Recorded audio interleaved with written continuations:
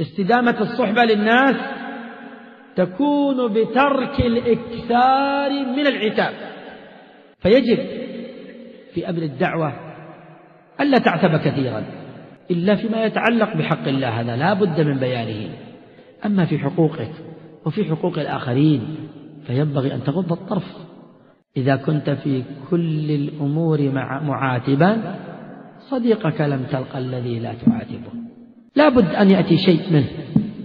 وهذا قول قول بشار بن برد وهو من فحول الشعراء الذين انتقل ووصل إلينا شعره وليس بعربي أصلا. ومع ذلك هو من فحول الشعراء. الشعراء المهجنين منهم بشار بن برد. يقول إذا أنت لم تشرب مرارا على القذى يعني مرة يأتيك الماء صافي ومرة فيه شيء من ما يعكر صفوه ظمئت وأي الناس تصفو مشاربه؟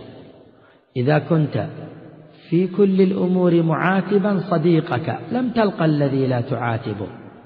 فعش واحدا أوصل أخاك فإنه مقارف ذنب مرة ومجانبه.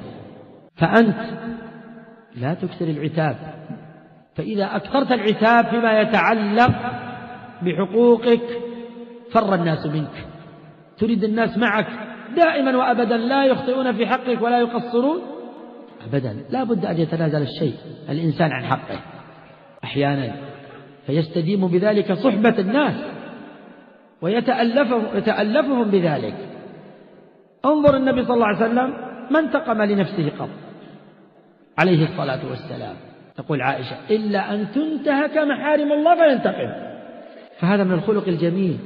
العفو عن الناس والصفح عن الناس مطلوب وإلا لا تكسبه فينبغي لنا معشر الأحبة أن نتصف بهذا الخلق خلق العفو والتسامح فيما يتعلق بحقوقنا. أما حقوق الله فلا. لا بد أن تقام. لا بد أن يتواصى بعضنا مع بعض. في الاستقامة على دين الله جل وعلا. لكن الصبر على الناس مأمور به.